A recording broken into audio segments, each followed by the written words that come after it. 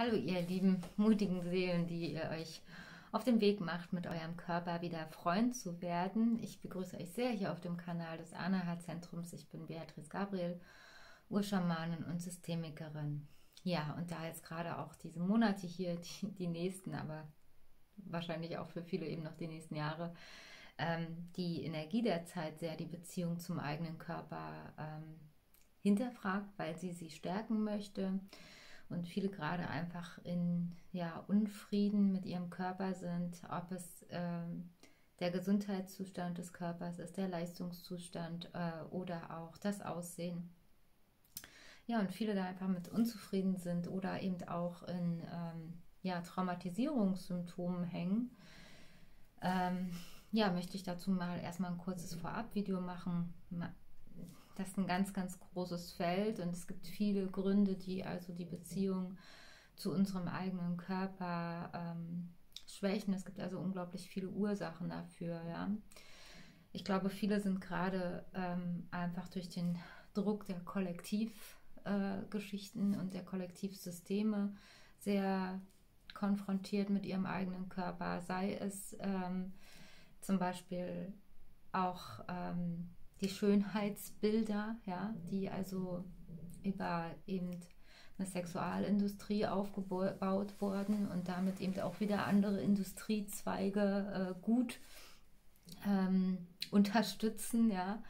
Ähm, also nicht nur die Kosmetikindustrie, Sportindustrie äh, und was weiß ich nicht alles, die Chirurgie, die plastische und so weiter und so fort. Alles das kann man gut machen, indem man also quasi in den Köpfen bestimmte Sachen installiert, die unwahr sind, ja, meiner Wahrnehmung zumindest, weil sie der göttlichen Wahrheit einfach nicht entsprechen. Denn Gott liebt uns alle und er findet uns alle wunderschön, so wie wir hier sind. Und wir haben uns alle einen bestimmten Körper und ein bestimmtes Aussehen ausgesucht, um in unseren Seelenaufträgen zu wachsen. Ja. Das vielleicht einfach erstmal zum, zum Äußeren als Ursache, also wo einfach eine, ja, ich sage mal, kollektive äh, Wertdoktrin wirkt, die uns klein hält, uns hässlich fühlen lässt, ja. Und jeder, der sich klein und hässlich fühlt, der ist in der Regel ein guter Konsument. Und zum anderen sind aber auch gerade die Angsttrigger im Außen sehr, sehr hoch, ja, also von Bewertung, von Fremdbewertung und so weiter und so fort dass also viele an Traumagefühle ihrer Kindheit kommen oder auch ihres Karmas und auch das kann dann Traumasymptome im Körper machen bis hin zu Krankheiten, ähm, psychosomatische, also damit durchaus somatisierte Krankheiten, die eben die Beziehung zum eigenen Körper extrem schwächen. Ja, ähm, je nachdem, was dir auch passiert ist, kann es also sein, dass du also auch schon lange mit Traumasymptomen zu kämpfen hast. Übergewicht zum Beispiel ist oft ein Traumasymptom. Ähm, genau. Und ähm, ja, ich versuche jetzt hier erstmal so eine Kurzanleitung zu geben, wie man also die Beziehung zum eigenen Körper wiederherstellen kann. Als erste also löse dich von Bewertung von Schönheit. Ja, wer sagt denn, dass das und das schön sei oder das und das hässlich sei? Ja, ja. Und wer sagt, dass du das glauben musst? Ja, so. Also, ähm, wichtig ist es, sich in seinem eigenen Körper wohl zu fühlen. Und jeder hat ein Wohlfühlgewicht. Und das ist nicht unbedingt der Body Mass Index. Ja. Also hier sieht man wieder, wieder ein, wie ein menschlicher Verstand alles möglichst katalogisieren möchte und so weiter und so fort. Aber woher sind denn diese Sachen überhaupt, äh, ähm, sage ich mal, irgendwann gekommen? Ja, so. Äh, wer hat denn so eine Sachen finanziert, frage ich mich da immer. Und ähm, ist das denn also wirklich etwas, was den Menschen dient, was sie vor oder wird es nur vorgegeben, dass es den Menschen dient? Dieser Body Mass Index. Ich bin zum Beispiel deutlich unter dem Body Mass Index, aber ich bin mit Sicherheit nicht zu dünn. So, ja, also ihr seht mich ja jetzt hier nicht in Gänze, aber ähm, so. Äh, und das ist ein stabiles Gewicht und äh, so. Und ich fühle mich damit wohl. So. Und ich merke, wenn ich in meinem Body Mass Index wäre, zum Beispiel, ja, das sind bei mir 47 Kilo, Ähm, ich habe aber halt äh, sehr, sehr leichte Knochen offenbar, dann fühle ich mich da nicht wohl mit. So. Und ähm, ich habe aber durchaus auch früher Übergewicht gehabt als Folge von körperlichem und auch mentalem Missbrauch. Also ich war auch schon bei über 80 Kilo und das auch eine ganze Weile, aber damit habe ich mich nie wohl gefühlt. Ja. Ähm, aber dazu mache ich nochmal eigene Videos, wie ihr also quasi auch gesund abnehmen könnt, ja, und das auch stabil gesund abnehmen könnt. So. Aber also das ist wirklich eine Frage, die du dir erstmal stellen solltest. Mit welchem Gewicht fühlst du dich wohl? Und wenn du jetzt gerade also wo bist, wo du dich mit dem Gewicht unwohl fühlst, in welcher Form auch immer, ob du zu dünn bist oder zu dick bist, ja, für dich. Nicht für andere, für dich, ja. Ähm, dann kann ich dir nur sagen, je mehr Aufmerksamkeit du in dieses Unwohlsein sendest, umso mehr wird sich der körperliche Zustand, also zu dünn oder zu dick, manifestieren in deinem Leben, je mehr du damit im Krieg bist. Das Einfachste, diesen ungeliebten Gewichtszuständen zu begegnen, ist mit Liebe. so. Das heißt also, ähm, wenn du immer wieder dir sagst, ich bin zu dick, ich bin zu dünn, ich müsste dies, ich müsste das, dann wird dein Unterbewusstsein, das hört das ja anders, ja. Dein Unterbewusstsein kreiert die Zustände, wo du also viel Aufmerksamkeit reinsendest. Das heißt, mitunter machst du ewig viel Sport und nimmst nicht ab, ja, weil du ja immer das, deinen kognitiven Fokus sozusagen und deinen energetischen Fokus damit auf eine bestimmte Gewichtsgrenze hältst äh, oder du isst wie sonst was und nimmst nicht zu oder nur an Stellen, wo du es nicht haben willst. Ja, so.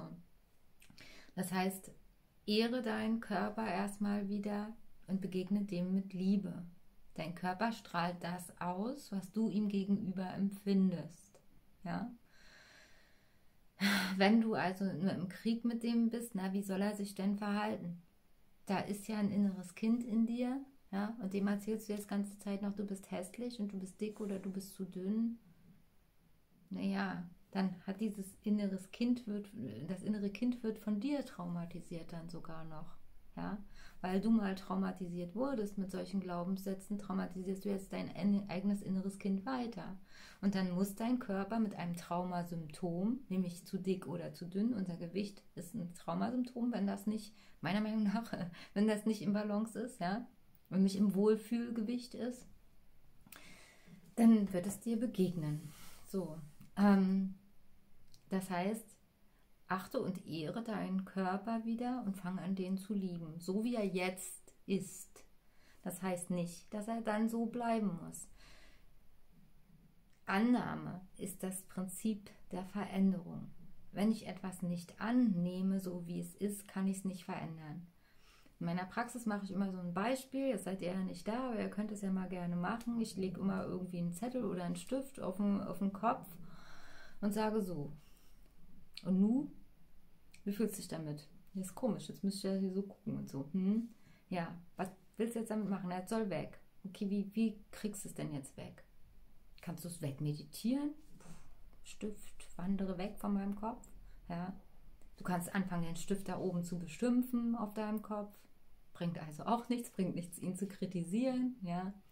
Du kannst ihn nur durchlieben und sagen, ja, Stift, ich liebe dich, ich liebe dich, ich liebe dich. Auch davon wird er nicht weggehen. Was notwendig ist, ich habe jetzt leider keinen Stift hier, aber den in die Hand zu nehmen, den runterzunehmen, anzugucken, was das ist, was da auf dem Kopf liegt, ja. Und dann zu überlegen, was mache ich jetzt damit und den an seinen Platz zu räumen, wo er hingehört und nicht mehr auf dem Kopf. Und dasselbe machst du also auch mit deinen körperlichen Symptomen. Du musst sie annehmen, du musst sie anschauen, du musst überlegen, wo sie eigentlich hingehören und sie dann an ihren Platz zurücksortieren. Ja, so. Und wenn du jetzt also einen Gewichtszustand hast, der dir nicht passt, dann liegt es an deinem Umgang mit dir selbst, auch in Form von ungesunden Beziehungen oder Jobs, in denen du verbleibst. Ja? Auch die können dich zu dick oder zu dünn machen, weil sie dich Stress ausliefern. Und ähm, ja, und da ist es also erstmal eine schöne Arbeit, sich also bewusst zu machen, woher kommt mein äh, Über- oder Untergewicht, ja, so.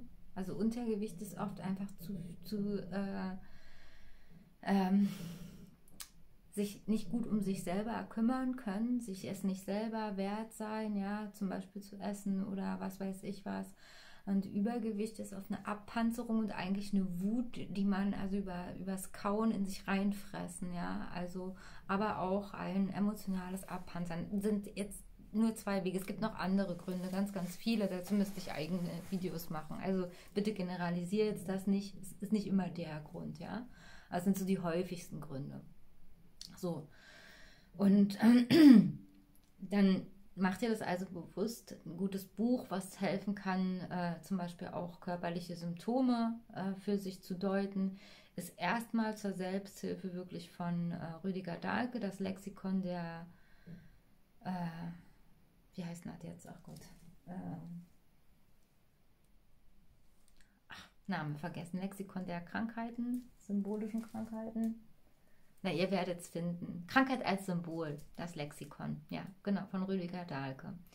Da stehen auch Sachen zu Über- und Untergewicht drin. Da stehen Fragen drin, die könnt ihr euch mal durchlesen. Ich rate sowieso für die Zeit, die jetzt kommt, dieses Buch sollte in die Hausapotheke gehören. Ja, da kann man wirklich viel schon mit selber lösen.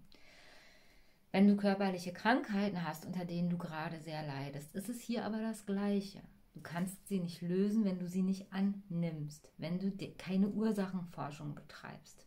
Ist zumindest meine Meinung. Das soll dich jetzt bitte nicht von einem Gang zum Arzt abhalten und der soll gerne dir seine Meinung zu den Ursachen deiner Krankheit sagen, ja? So. In meinem Selbstbild und mit all den Krankheiten und schweren Krankheiten, die ich hatte, also dazu gehören eben vor allen Dingen äh, äh, Rheumaformen bzw. Krebs hatte ich ganz, ganz oft. Ähm, und viele andere Sachen, ähm, wurde mir immer mehr klar, dass es also psychische, seelische Hintergründe gibt, die meinen Körper krank machen. So. Und dass ich zwar, egal ob ich auf Ernährung gucke oder was weiß ich was, das alles sind schon wieder Symptomketten. Die eigentliche Ursachen äh, liegt meiner Meinung nach in der Seele. Aber wie gesagt, das ist meine Meinung und ich will dich hier absolut nicht davon abhalten. Und man braucht eigentlich meiner Meinung nach ein Miteinander von Schulmedizin und von, naja, Seelenmedizin, will ich mal sagen, ja.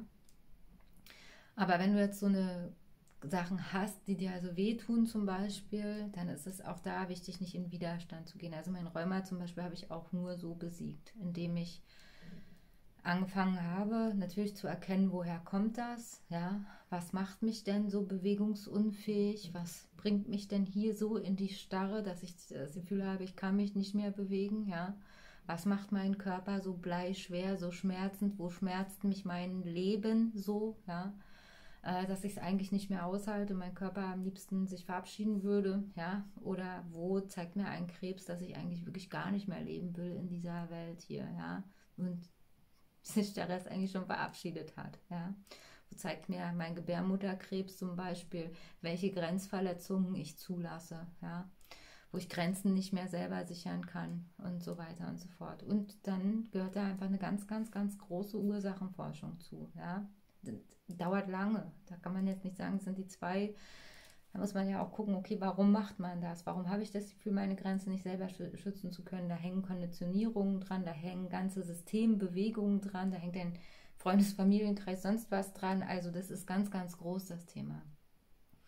Aber das Erste, was du machen kannst, ist diesen dir scheinbar feindlichen äh, ähm, Körpersymptom, ne? also über das Annehmen zu schauen, nach der Ursache zu schauen, merken, es ist irgendwie okay, es ist unangenehm, aber es ist sinnvoll, es will mir was zeigen. Nach Möglichkeit eben mit Hilfe wahrscheinlich diese Ursachen zu lösen und deinen Körper auf einer ganz physischen Ebene zu lieben. Und das geht am besten mit Leibarbeit und die möchte ich kurz beschreiben. Äh, ich denke, Herr Andreas Krüger, also von dem habe ich das mal gelernt, der wird da äh, wer mehr Videos, denke ich, zu haben, dann müsst ihr mal schauen. Andreas Krüger, Berlin, Samuel Hahnemann Schule, Leibarbeit. Ich denke, da, ich verfolge den Kanal jetzt nicht mehr so. Ähm, da wird es aber sicherlich auch ganz viele Videos zu geben, nehme ich an. Ja, ich weiß es nicht genau. Aber die Leibarbeit heißt eigentlich, dass jeder von uns heilende Hände hat. Ja, wir sind selber unser bester Heiler. Das heißt, ich schwinge mich ein auf die Liebe und auf die Dankbarkeit zu meinem Körper. Ich mache mir bewusst, was er hier seit Jahren durchlebt, durchlitten und was weiß ich was hat, ja. Und was der eigentlich für ein Wunder ist. Überlegt mal, wo euch allein eure Füße durchgetragen haben, ja. Wenn ihr Frauen seid, was, was eure Körper geschafft haben, vielleicht also an Kinder kriegen, an Gebären, an Kinder jahrelang auf dem Arm schleppen, an äh, absolut Selbstlosigkeit, an Schlafentzug, an was weiß ich was alles. Ja, so. Was euer Körper geleistet hat, um andere Leben äh, groß werden zu lassen. Ja, das ist großartig. So, und ähm, oder wenn ihr Männer seid, schaut mal, was, was euer Körper vielleicht schon alles geschaffen hat in eurem Leben, also welche, keine Ahnung, Häuser ihr gebaut habt oder sonst was. Und also wozu war euer Körper in der Lage? Welche Entbehrungen hat er vielleicht auch einstecken müssen und so weiter und so fort? Wie wenig Liebe und Dankbarkeit hat er vielleicht auch dafür erfahren? Ja, gerade wenn du noch ein negatives Mindset hast, ist es so dann ist dir höchstwahrscheinlich sehr viel Undankbarkeit oder eben äh, so auch begegnet. Ja, wird dann nicht immer gleich gelohnt, ähm, weil das einfach auch viel mit unseren Glaubenssätzen zu tun hat. Unser Außen spiegelt es immer. Und wenn du dir das bewusst machst, was dein Körper für dich leistet, dass der dich handlungsfähig sein lässt, dass also ne, dein, dein alles von dir befähigt dich, deine Probleme zu lösen eigentlich. Ja, ich sage immer, meine Hände sind da, um mich handlungsfähig zu machen. Gott, bitte lass sie dein Werk vollbringen. Ja, meine Füße sind da, um mich hier Wege laufen zu lassen. Gott, bitte lass es deine Wege sein. Ja, mein Sprachorgan, ja, ist da, um ja, zu, zu sprechen, zu singen, Wahrheit zu vermitteln. Und ja, Gott, lass bitte deine Wahrheit äh, lass mich deine Wahrheit sprechen. Ja? Also, dein Körper ist ein Wunderwerk Gottes hier, um bestimmte Sachen zu vollbringen. Und das ist ganz wichtig für diesen Wandel der Welt, dass wir gesund sind und dass wir uns lieben und dass wir diesen Körper wieder anerkennen. Und dann mach dir mal bewusst, wie du bisher mit dem umgegangen bist. Ja? Hast du ihm ein schönes Zuhause geschaffen, diesem Körper? Ja? Hüllst du ihn in Kleidung, die dir gut tut, die du magst? Pflegst du dich? Ja, oder gehst du so mit dir um? So. Mach dir das alles mal bewusst. Und was dein Körper eigentlich für dich schafft, was würdest du denn ohne den machen? Das sehe ich immer bei den erdgebundenen Seelen. Das ist ganz, ganz dramatisch, wenn die keinen Körper mehr haben, aber hier noch auf der Ebene sind. So. dann lernen die ihren Körper erstmal wieder so richtig schätzen. Dann, wenn er nicht mehr da ist, ist oft so, ja. Also wenn sie den Absprung ins Licht nicht geschafft haben aus irgendwelchen Gründen. Also versuch dir das mal klar zu machen und fülle dich mit Liebe für deinen Körper. Dann nimmst du die auf deine Hände. Äh, Quatsch, nimmst du deine Hände auf dein Herz so. Und versuchst dir wirklich mal bewusst zu machen, was dein Körper ist wozu der dich befähigt und wie schlecht du wahrscheinlich mit ihm bisher umgegangen bist. Und dann haben wir die Übung aus den Rauhnächten wieder. Ich schütze mein Herz und ich schütze auch meinen Körper. Das heißt, die linke Hand aufs Herz und die rechte drüber. Ja, ja mein Körper, ich liebe dich und ich liebe dich in deiner Sensibilität und mit deiner ganz, ganz individuellen Schönheit. Und meine Rechte, meine Disziplin wird jetzt endlich mal anfangen, dich gut zu behandeln. Ja, so, so. Und dann fühlt ihr diese Liebe und dann beleibt ihr euch. Ihr belebt und beseelt euren eigenen Körper. Es geht am besten, wenn ihr euch ein wunderbares, mit besten Fall traumalösendes Öl äh, besorgt. Also gutes Mandelöl, wer sich mit Aromatherapie vielleicht schon ein bisschen auskennt, ein wunderbares äh, Öl, um also einfach auch also Wunden von Leiden und seelischem Leiden zu heilen ist Ilang Ilang oder die Passionsblume auch.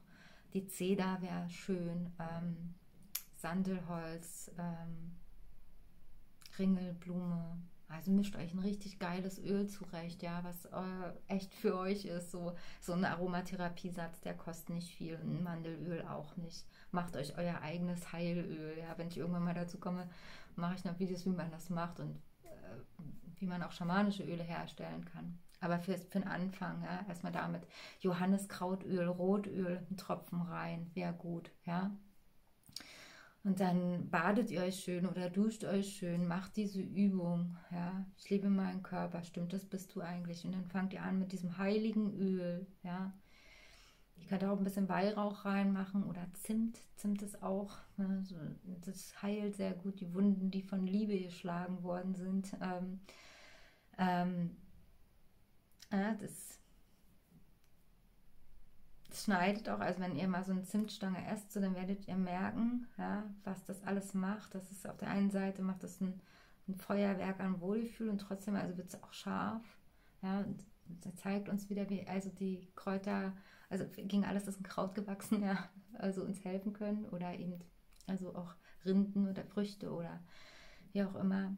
Also macht euch ein richtig geiles Öl und dann beleibt ihr euch. Ich kann das jetzt hier schwer zeigen. Ich fange bei den Füßen an und ich segne dann meinen Leib. Und ich liebe den und ich berühre den ganz langsam, ganz achtsam. Ich versuche es mal hier so vorzuzeigen vielleicht. Also so mache ich das und mache mir wirklich bewusst, was macht dieser Teil meines Körpers für mich. Und ich beleibe den und beliebe den ganz, ganz achtsam. Es kann sein, wenn ihr das das erste Mal macht, dass ihr dabei weinen müsst, ja, weil es vielleicht das erste Mal ist, dass ihr euch mit so einer Liebe begegnet. Begegnet euch und eurem Körper so, als ob ihr den heiligsten Geliebten oder die heiligste Geliebte da vor euch hättet, ja fang bei den Füßen an und dann segne ich eben, ja, das ist mein Weg, ich bin einfach sehr, sehr verbunden mit Gott und ähm, spreche das dann eben.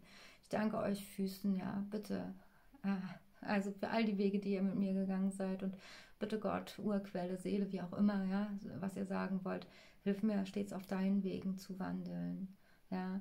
Und ich danke euch auch für jeden Abweg, den ich mal gegangen bin, für alles, was ihr durchleiden musstet oder habt auch. Und Manchmal müssen wir auch auf Gottes Wegen, ja, je nachdem, was wir für Karma haben, mal leiden, so ist nicht. Und dann gehe ich weiter, also Unterschenkel, Oberschenkel und alles durchliebe ich. Und auch und gerade die Stellen, die ich nicht mag oder die wehtun, ja, die ich am liebsten nicht haben würde. Also heute ist es nicht mehr so, früher war es eben so. Und ich durchliebe alles. Und das dauert auch eine Weile, also weil in allen Körperteilen ja bestimmte Sachen hängen. Und das kann auch sein, dass da Bilder aufklappen, ja, wo vielleicht auch jemand äh, das mal missbraucht hat, diesen Körperteil oder so. Also ich bin ein Jahr fast äh, schlimm gefoltert worden und war schon fett, so die erste Leibarbeit. ja, also da ist mir viel wieder eingefallen, wie dieser Körper geschändet worden ist und so weiter und so fort. Und ja, und dann durchliebe ich den und heile den.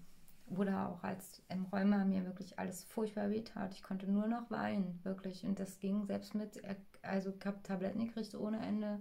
600 Milligramm Tramadol, wüsste ich noch, ja. Also kannst normalerweise ein Pferd mit. Einmal gut auf den Trip schicken. So, und es tat trotzdem alles weh. Und dann habe ich, weiß ich noch, weinend diesen Körper gestreichelt und habe gesagt, ist gut. Ich bin gesund, ich bin gesund, ich bin gesund.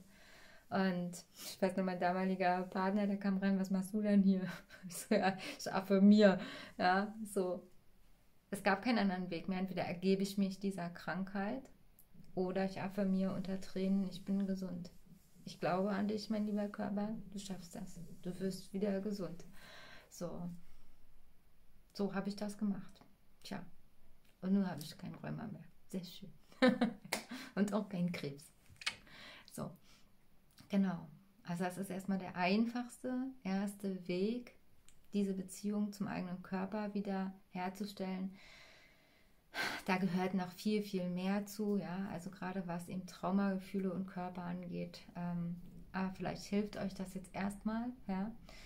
Und dann dem Körper auch das Versprechen zu geben, dass ihr euch von heute an gut um den kümmert.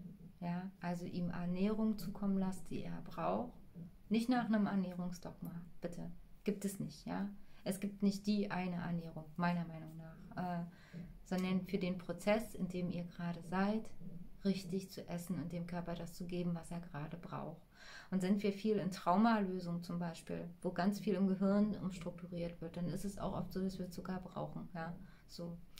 Selbst wenn ich äh, auch nicht sehe, dass das die perfekte Ernährung ist, aber für diesen Prozess braucht es manchmal. Wenn wir sehr geschwächt sind, zum Beispiel nach einer Geburt, ja, ähm, dann eben eine ayurvedische Hühnersuppe oder sowas. Also wunderbar, ja. Ähm, selbst wenn ich auch denke, dass Fleisch nicht unbedingt auf die Speisekarte muss. So. Aber sei gnädig mit dir, sei gütig mit dir. Und versuche dich nicht in Ernährungsdoktrinen rein zu doktrinieren von dir selber noch, ja. So. Damit kann man viel Schaden anrichten. Da werde ich demnächst mit, mit einer Kollegin und Schülerin von mir viele Videos zu machen, die auch Gesundheitsberaterin ist. Also freue ich mich schon drauf. Ne? Und ähm, sei gütig, sei gütig mit dir. Mach dir ein schönes Bett. Ähm, achte darauf, dass du ähm, dich gut pflegst, dass du oft duschen gehst, also so oft wie du es eben brauchst, dass du dich abends wohl geduscht und ähm, in ein schönes, sauberes Bett legst. Da bist du dir das wert, ja. Ähm, selbst wenn du vielleicht Single bist und alleine bist, bist du wert, dir einen Schlafanzug anzuziehen, ja, und also wirklich auch die Tagesebenen über deine Kleidung äh, voneinander zu trennen, ja, bist du es dir wert, dich zum Beispiel auch, was weiß ich, selber hübsch zu machen und zu schminken. Also mit dieser Corona-Geschichte zum Beispiel, Oh, da ging mir das am Anfang auch so, ja. Also irgendwie echt nur noch Gummistiefel und so. Also irgendwie war es auch cool, aber äh, irgendwann ging es mir auch auf den Keks, ja. Und ähm, dann dachte ich auch, nee, okay, selbst wenn ich jetzt hier keinen sehe, außer meine Gäule, ja, ähm, mache ich mich mal wieder schick, so, ja. Und ähm, fühle ich mich einfach besser mit, so hat mir auch gezeigt, dass das einfach was ist, was zu mir gehört, was ich nicht unbedingt nur für andere mache. Ich laufe auch super gerne ungeschminkt rum, aber ab und zu mag ich es einfach auch gern. So. Oder was Schickes anzuziehen oder was weiß ich was. Ja, feiere deine eigenen Feste für dich wieder mit deinem Körper. Äh, mach irgendwie, such dir einen Sport raus, der deinem Körper wirklich dient. Ja, also was ist es denn? Nicht für jeden ist Yoga was. Ja, und ähm, oder Pilates, keine Ahnung, vielleicht stemmst du halt lieber Gewichte, ja, dann machst du halt das so. Also versuch dich da nicht in Dogmen reinzubringen und auch nicht für jedes Joggen was. Ich kann da zum Beispiel gar nicht ab. Ich laufe aber dafür lieber drei Kilometer oder nein, Quatsch, drei Kilometer reichen nicht. Also ich laufe halt jeden Tag mehrere Stunden einfach ja, mit meinem Hund. So, das tut mir gut. Wald und einfach laufen und das sorgt auch für eine gute Figur, ja, und nebenbei ausmisten, so. Das heißt also, so eine, so eine Art Normalsport zum Beispiel ist auch nichts für mich. Und das erlaube ich mir, so. Ähm, tanzen zum Beispiel ist für mich ein guter Sport, ja, tanzen, spazieren gehen, ja, und den Rest, den machen eh äh, eigentlich die Tiere sozusagen, also und die Beschäftigung damit. Aber ich brauche natürlich auch ein bisschen Kraftsport und das muss ich auch manchmal machen.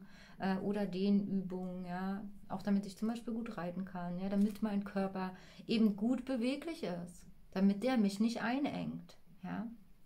So, da mache ich das halt so. Genau, also ja, gönnst du dir, weiß ich nicht, auch wenn du vielleicht Single bist und allein und sehr einsam gerade, mach dir eine schöne Wärmflasche, ja, durchliebe dich öfter, mach öfter eine Leibarbeit, wenn du dich sehr nach Geborgenheit sehnst. Das Gefühl muss ja erstmal in dir generiert werden von ich werde berührt, ja. So, das wären also so Sachen. erstmal, genau. Okay, ihr Lieben, ich hoffe, das hilft euch weiter. So, und natürlich könnt ihr gerne Fragen hier wieder äh, stellen, die äh, vielleicht jetzt eben dieses Video nicht beantwortet. Ich versuche das alles irgendwie abzuarbeiten, sobald es mir möglich ist. Ja? Und Simone, deine äh, Gewichtsvideos habe ich auf dem Schirm, ist mir auch ganz, ganz wichtig, weil das auf jeden Fall also einfach ganz viel auch mit Missbrauch zusammenhängt. Also Gewicht zeigt, ist oft ein guter Zeiger und vielleicht musst du deinen Körper auch einfach wieder also jeder, jetzt nicht Simone, ja, äh, einfach sollten wir den Körper also wieder auch in dieser Funktion wahrnehmen. Er zeigt uns was, er ist unser Zeiger, er zeigt uns eigentlich den Weg in, unserer Seele, in unser seelisches Gleichgewicht, zeigt er uns über körperliche Ungleichgewichte, in welcher Form auch immer. Also dankt ihm für diese sehr schwierige Zeigerfunktion und habt ihn einfach wieder richtig dolle lieb, ja. Ihr lebt in diesem Körper, ne? ist euer Tempel. So, also haltet ihn rein. So. Also, und hier vor allen Dingen erstmal auf Gedankenebene. Haltet ihn rein von eurem Hass. Ja. So, liebt ihn. Ein Tempel der Liebe sollte es sein. Also, ihr Lieben, viel Erfolg damit.